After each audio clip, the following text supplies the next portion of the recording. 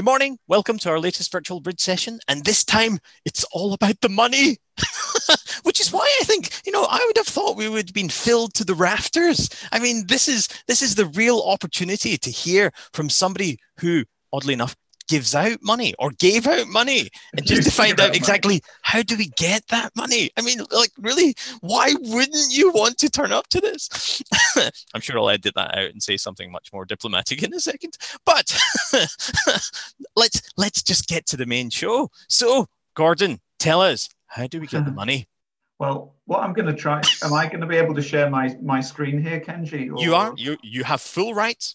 Um, okay. So can everybody see that? Okay. Grand. Okay, thank you very much. Now, so this is um, just to talk about what I'm going to cover here. I, the, the, the kind of caveat at the outset is that this is very much a personal view. Um, so my experience is that I spent a number of years as head of scholarship and learning at the Robertson Trust, which is the largest independent grant maker in Scotland, um, gives out about 20 million a year in total in grants. And of that, we spent about 3 million a year on education projects, um, two thirds of which was really on funding students through university, which I'm not talking about today. And a lot of my work was around that. And the other million was in um, partnership projects in education. And we did work with uh, Valley College and with Fife College and Borders College in the FE sector and with St Andrews University and some others in other sectors. Um, the main reason I'm saying this is a personal view is that my work was very much developing joint projects. So it wasn't with people coming to me with a cold application saying, here's my application, what do you think? It was us identifying people we wanted to work with and then jointly coming up with the proposal that went to our trustees for approval.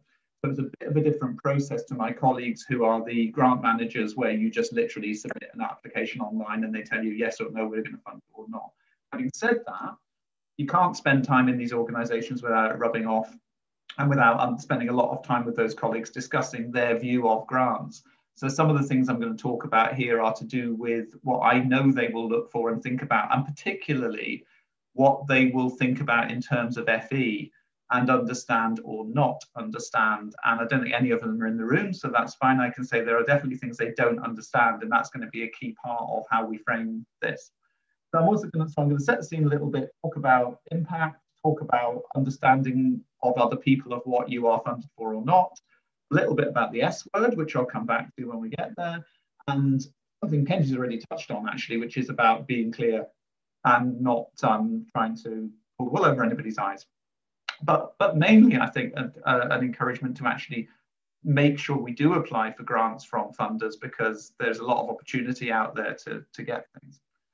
So setting the scene, uh, and I think I'm preaching to the choir a lot here, but so apologies if I'm telling people things they already know, but there are a number of places for which you could apply for a grant. Uh, and for me, the three key areas are the companies and corporate social responsibility side of things. And it's worth thinking about CSR because there are definitely circumstances in which going to a company might be better than going to a grant making trust.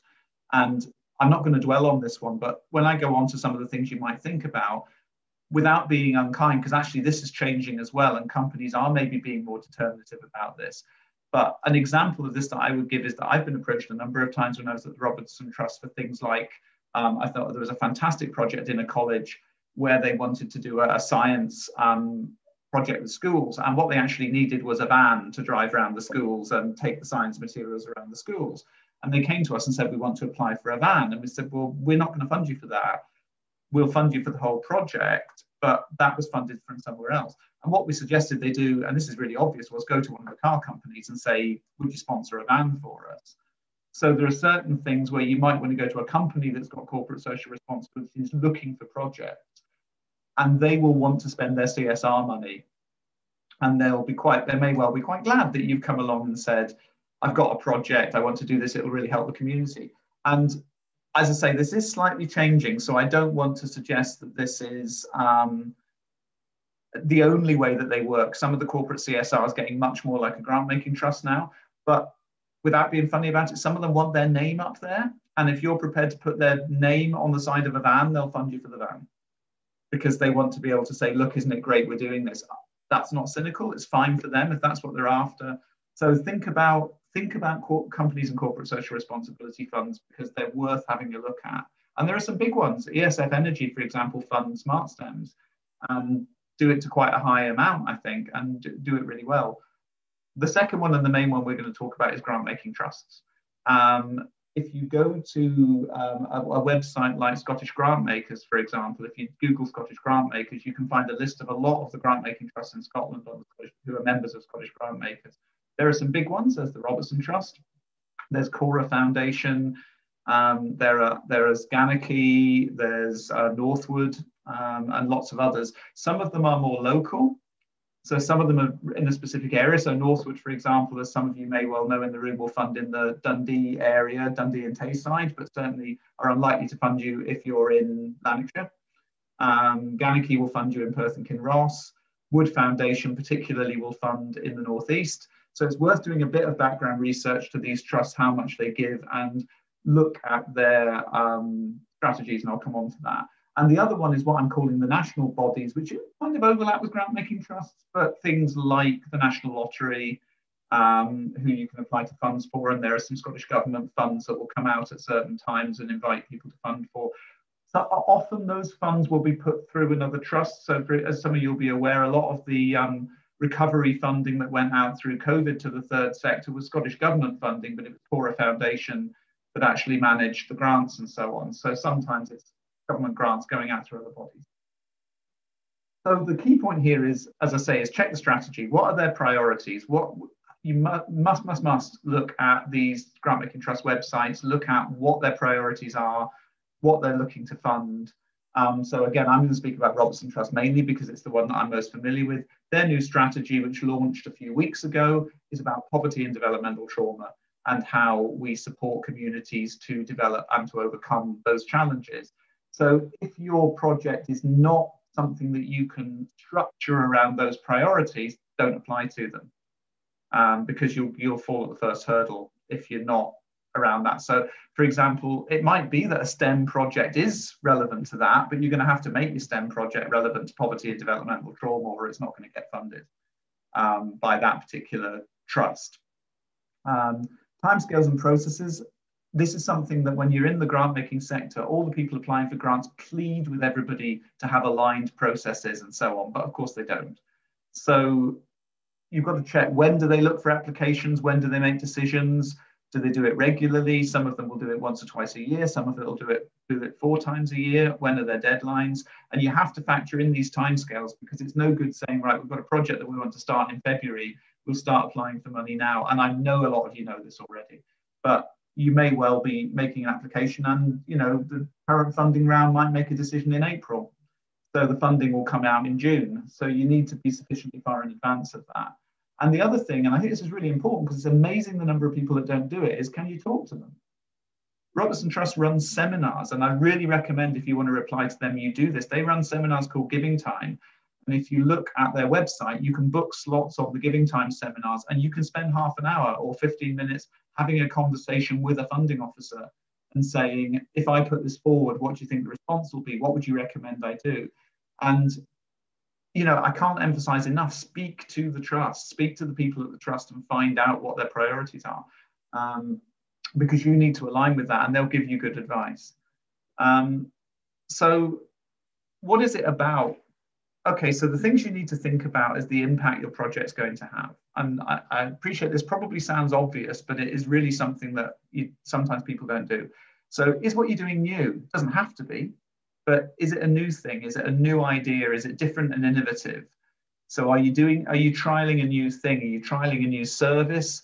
Are you trialing something that's a new way of working with your students, a new way of supporting your students, a new way of doing teaching and learning? Um, do you want to work with a particular community? And it's a, is it something that hasn't been tried before? So uh, what will really excite the trust is if you're saying we want to do this thing, which we've maybe seen happen somewhere else, we want to try it in our area, we want to see if it will make a difference. And what are you hoping to achieve from it? So what is the impact going to, to be? You, you won't know whether it'll work or not, that's fine. You're allowed to try things and see if they work. But what are you actually going to achieve with this project? Who's going to benefit? Is it the students that are going to benefit? Is it the community that's going to benefit? Is it the wider college that's going to benefit? And how will you know? And all these things need to be spelled out in the application. And that how will you know is a really important point. How will you know that it's had an impact? How are you going to measure this? It doesn't have to be incredibly complex, but you have to know how you're going to measure the impact. Is it just in numbers? Is it X number of people signing up is success? Or is it more intangible than that? Is it in about 80% of people saying they benefited from the project? Or is it, as a lot of the projects I've worked on, really, really tangible? Is it the students are in the college and being successful rather than not being in the college and not being successful? So there's something about that. And I think the thing is, and it's back to something Kenji said at the beginning from other things he's heard about, you know, almost treat the funders like idiots. Don't treat them like idiots, but treat them as a people who don't understand you or what you do or why it's important, and you have to explain it to them. I've had so many conversations with people who say, "But isn't it obvious how um, important what I'm doing is?" Well, it is to you, but it's not for to anybody else. Um, so leading on from that, um, and I've called this this slide, aren't you funded for that? Um, this is really important. And this is something that I've, I've talked to a lot of colleagues in the grant making sector who don't know FE. And I'm not, this is an absolutely serious point. They, when they get an application from a college, will look at your college strategy. They will look at your college outcome agreement and they will say, hang on, you're funded for that. That's what you get your funding for. Teaching students, funded for that. Bringing, you know, working with communities, you're funded for that. It says so in your outcome agreement. So you need to spell out why that's not the case for this project. Now, we all know in this room, because we all work in colleges, that the outcome agreement covers loads of stuff that you don't actually get funding for, because that's the way that it, the system works. I, I read through a college's outcome agreement a couple of days ago, and it was 45 pages, and there was loads of stuff in there that isn't directly funded. So you need to be clear in the application. Where does your organization's main funding come from? In this case, it's going to be SFC. And what is that supposed to cover? And why is your project not covered by that? Because you have to be able to show why can't I get the money from somewhere else? Why is it not? So if you're talking, for example, about student support, isn't it the college's job to support the students?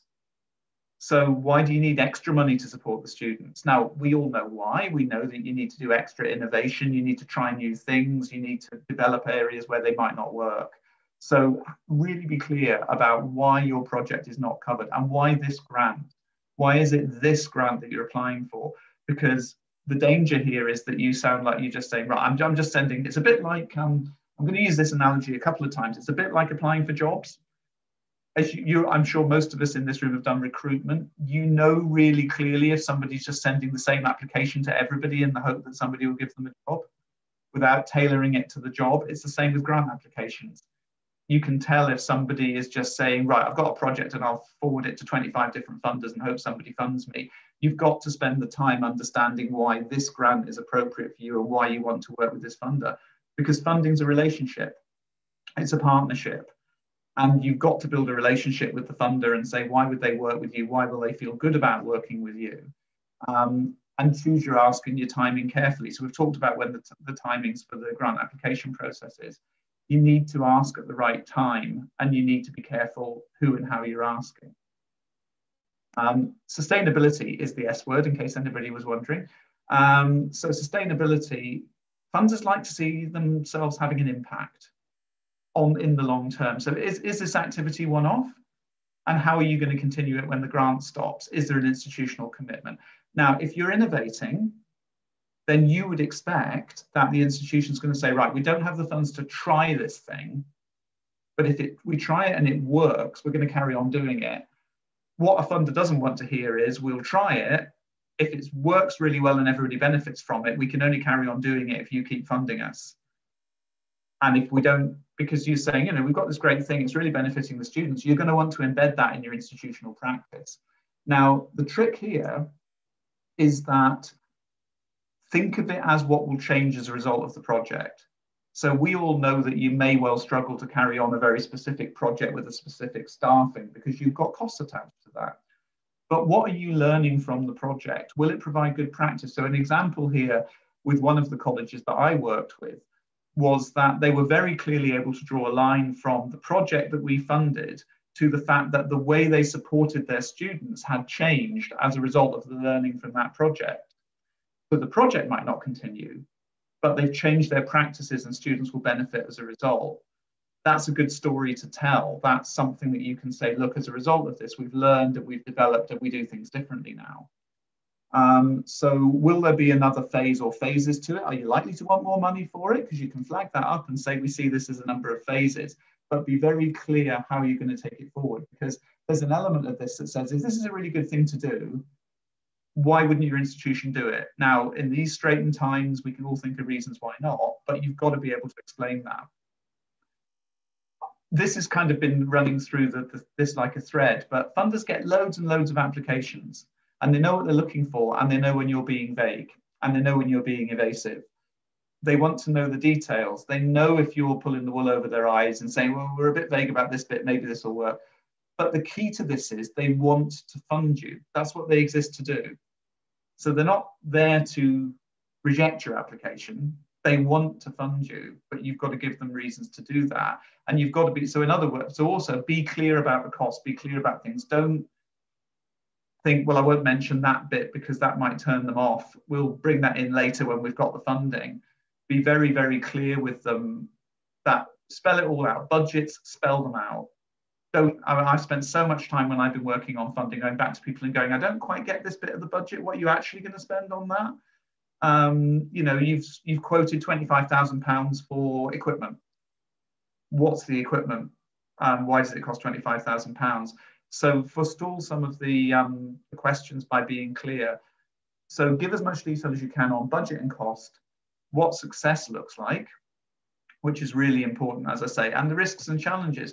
You're not required to do something you know is going to be successful. That's the whole point of trying new projects and trying new innovations. But you need to be clear that you understand the risks. Robertson Trust, for example, will ask you to fill out a risk register as part of the process of getting the money and be clear with them what you think the risks are. You're allowed to have risks, just be clear what they are. So I've kind of rattled through that because I want to leave time for people to ask questions. But the key messages for me for me are, you know, there is funding out there.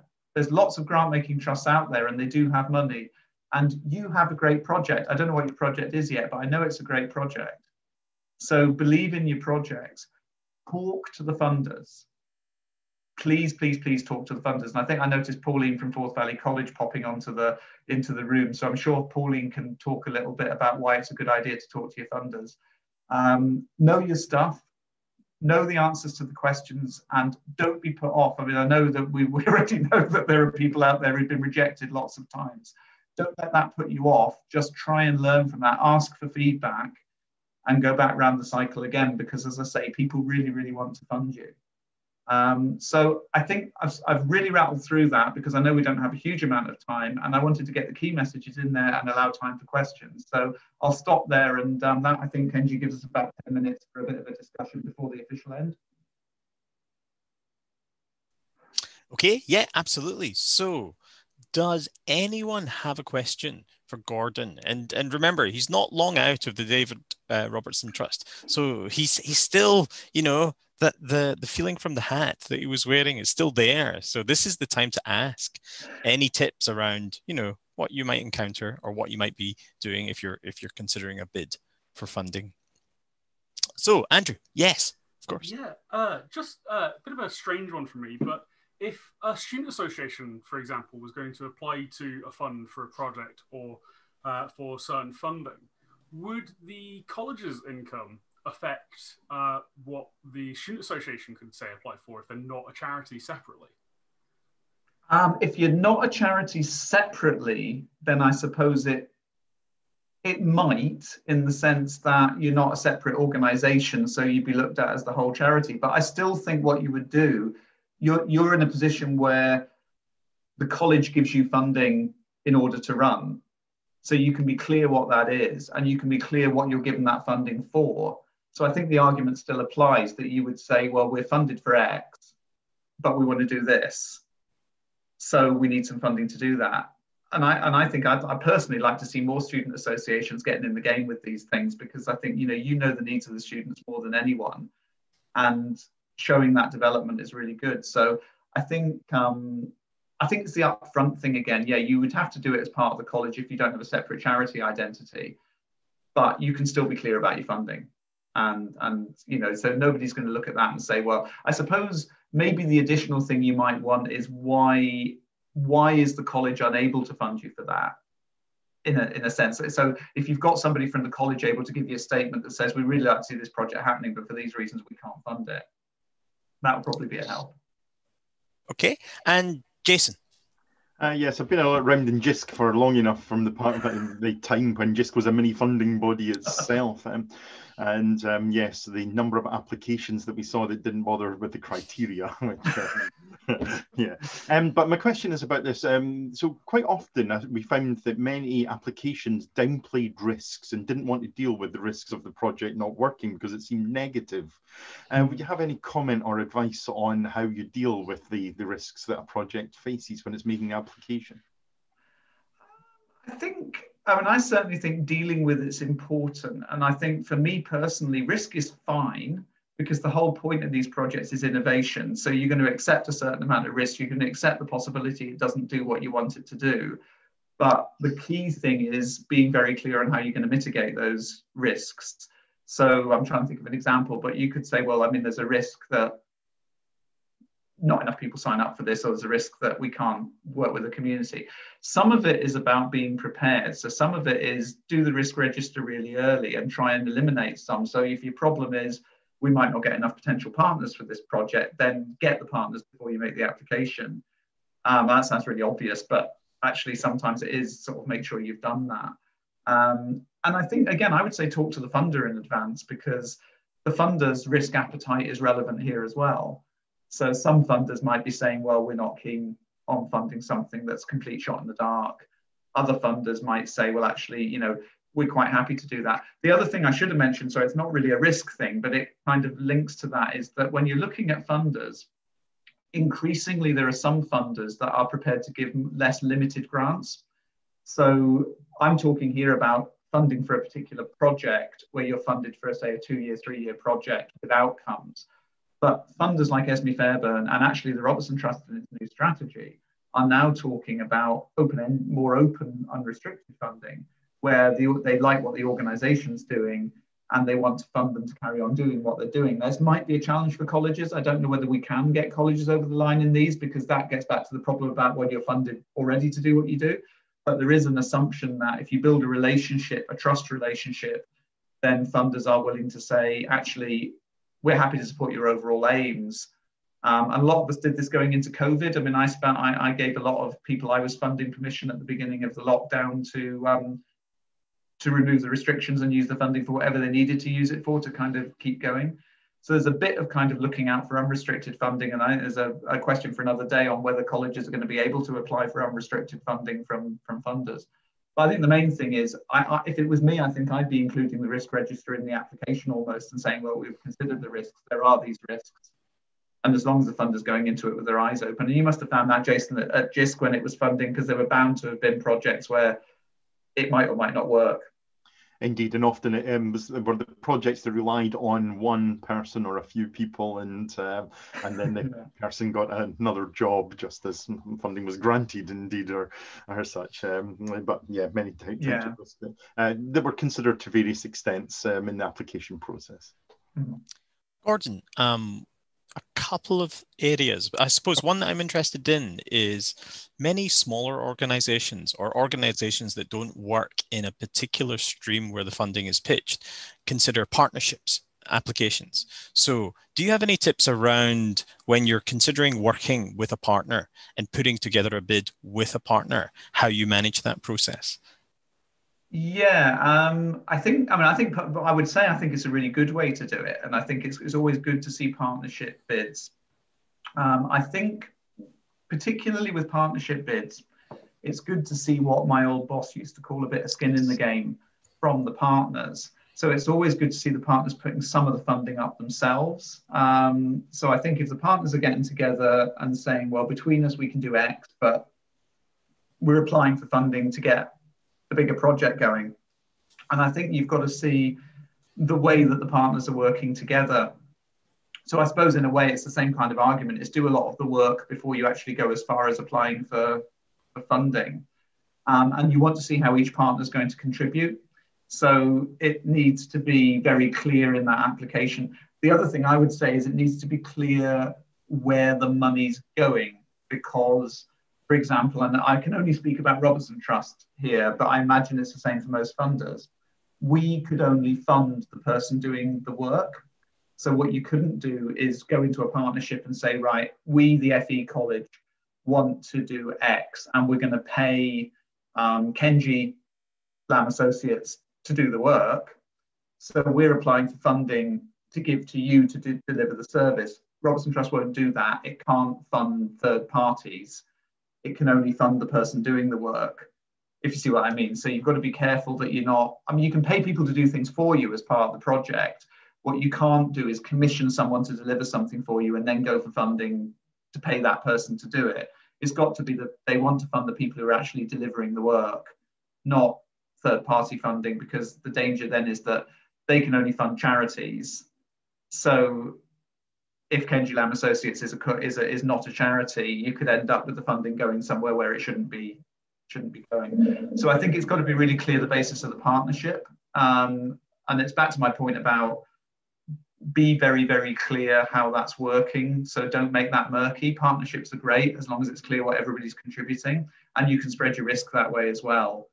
But um, have those open partnership discussions before you start because partnerships can go badly wrong as well as we all we all know. Um, but I've, I've worked with some really great partnership approaches. I mean, the First Chances project in, in Fife, which Robertson Trust funds, is between the council, the college, and the university, and it's an amazingly successful project. Uh, and that's with um, effectively about four or five partners now. Um, yeah. I, I should just point out that my rates are really, really reasonable. Just you know just to clarify that. Um, um, so any other questions uh, for gordon? Sorry i realize there's been chat going on which i haven't been looking at as well. Um, one one other thing that i'm i was interested in is you mentioned impact in in the presentation slides. And increasingly people talk more about impact do you have any tips around how you measure impact or, or give a realistic estimation of impact that's actually going to be a result of the, the project that you undertake? Yeah, I think it's um, I think I think realistic is the key word you use there because you've got to be in me- measuring impacts really is really hard.